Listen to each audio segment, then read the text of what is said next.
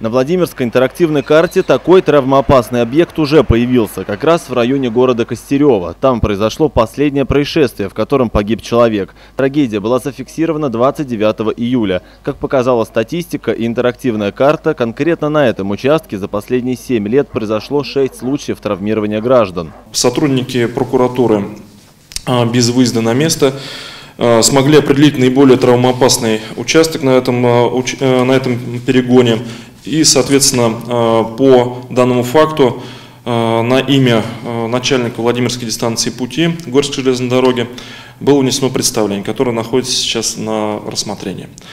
Данный участок в ближайшее время будет дооборудован необходимыми элементами безопасности. В целом же ситуация на железной дороге региона сегодня достаточно стабильна. В этом году не зафиксировано ни одного случая гибели несовершеннолетних. Ведется активная работа с зацеперами.